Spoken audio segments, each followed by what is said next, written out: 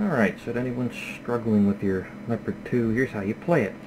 Alright, first, take these things off, because they don't work. Alright?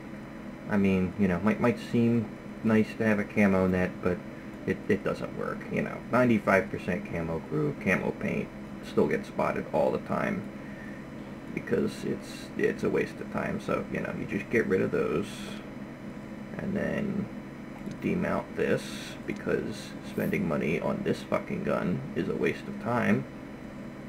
Alright?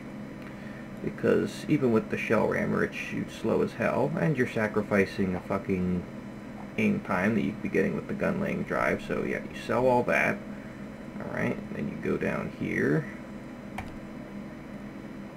Do this, and